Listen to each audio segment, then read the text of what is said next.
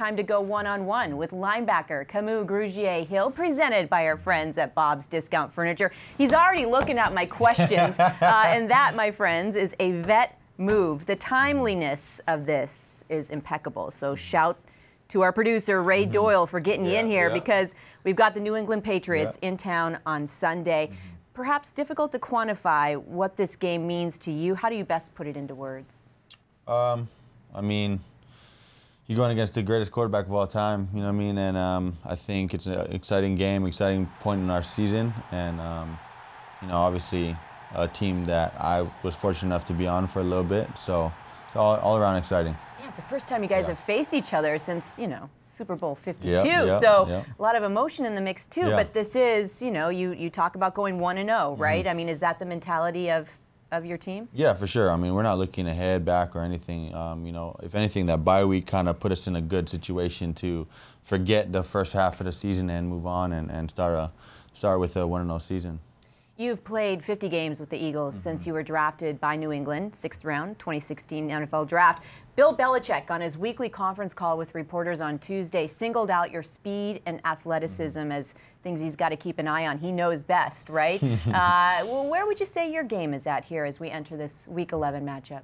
Um, yeah, I mean, you know, uh, coming into this game, you obviously with the Patriots personnel and stuff, they got a lot of like speed running backs. Um, you know, Brady doesn't like to hold on to the ball. He gets things out quick. So it's gonna, I, I think, uh, that those attributes are kind of going to be uh, good for this game. Be able to run around a little bit and and, and uh, chase down the ball. Yeah, that short passing game, right? Mm-hmm. James White, yep. particular, 44 yep. catches exactly. for 404 yards and a touchdown. But who's counting? You're going to keep him in check. Uh, specifically, what is it about this rivalry with New mm-hmm. England? Mm-hmm. You've been on both. You've been behind enemy lines. You've been here in Philly. What what mm-hmm. makes it so special? I think it's just the fan base. Both fan yeah. bases are, are, wild. Obviously, no one can match Phillies. Uh, you know, Boston, they're, they're, they're spoiled up there. They're like kind of, you know, a little different.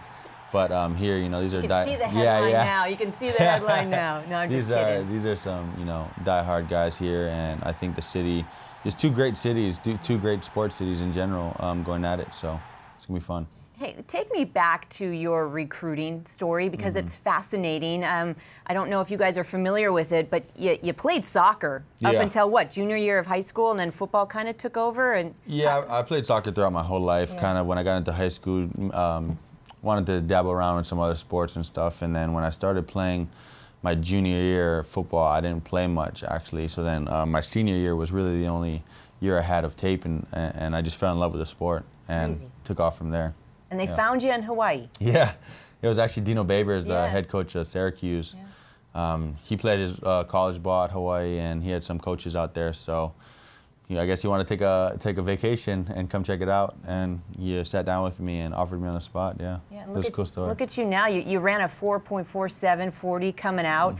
Uh, you've only elevated your game since. One of the fastest and best at coverage linebackers in the mm-hmm. NFL. Uh, what gives you the edge in this matchup? How, how do you counter what New England has going on?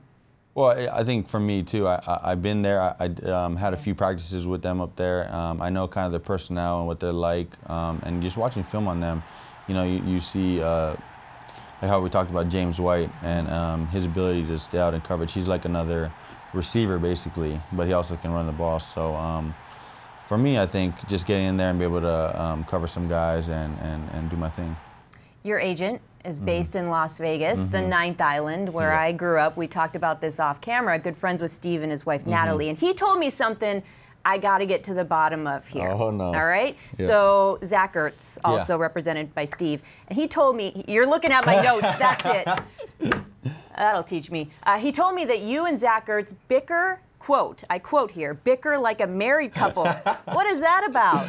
Uh, you know, ever since I got here, I, um, you know, me and Zach kind of just, you know, uh, like elevated to, or yeah. towards each other and stuff. So, and every year our friendship kind of just grew and grew. So, and we're both competitors, and obviously we go against each other a lot, in um, especially during training camp. So, um, it's just everything, every little thing with the jokes and, and everything. It just every day is something new. It's if, deeper than that, yeah, though, isn't it? You yeah. guys in a spiritual yeah, level. for sure. Yeah. I mean, um, you know, he's a big part of my faith, and we're a big part of each other's faith, and and being able to hold each other accountable with certain things and come to each other and actually talk to each other. I think that's why it gives us a, a deeper. Uh, mm-hmm deeper relationship where we can actually like be able to be at each other's neck like Yeah, that. Fair enough. yeah. Fair enough. All right. So I understand now Steve's Yeah. Assessment there.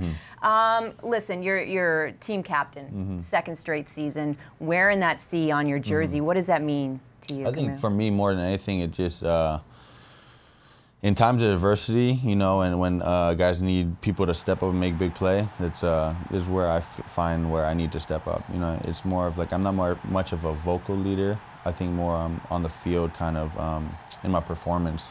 You know, and um, just especially you know people don't really remember anything except the November and December games. That's all that really matters. So.